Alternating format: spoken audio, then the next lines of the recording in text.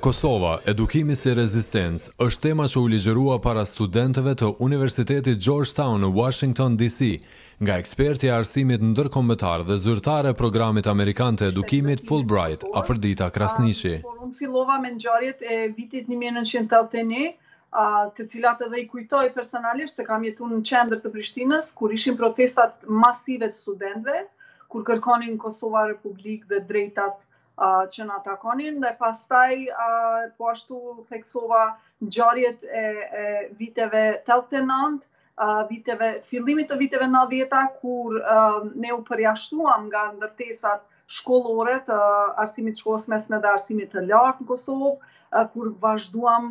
të protestonim të njëjtën kohë kishim edhe për detyrë edhe kishim një vullnet, një solidaritet të jashtëzakonshëm që të mësonim si si student, por edhe që të protestonim vazhdimisht deri ku është kulmi i protestave në vitin 1997, pastaj 98 kur fillon lufta.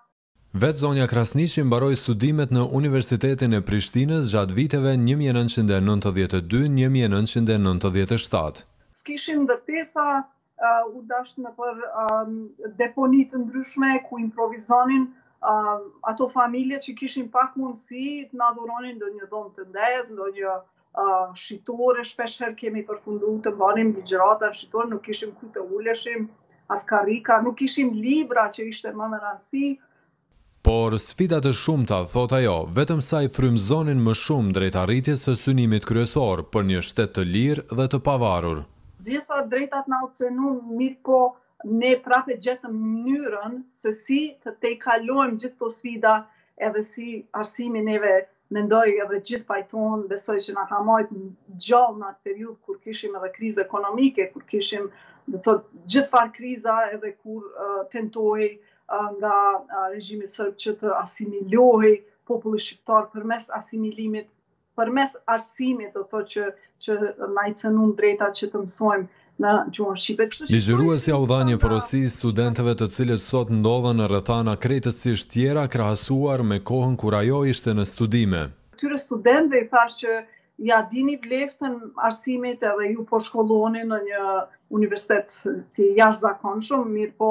um, ta keni parasysh se jo të gjithë e kanë fatin e tillë, prandaj le të është kjo ligjëratë sot më si frymëzim që të studioni sa më shumë, të shfrytëzoni këto resurse që i keni, Ndërsa, universiteteve në Kosovë dhe studentëve u sugjeron të investojnë në hulumtime akademike dhe mendimin kritik. Afërdita Krasniqi është zyrtare me përvojë në Fulbright, programi që financohet nga Zyra e Departamentit të Shtetit për Arsim dhe Kulturë. Programet administrohen nga Instituti për Arsim Ndërkombëtar, ku zonja Krasniqi drejton Zyrën për Evropën dhe Euroazinë në Nju Jork.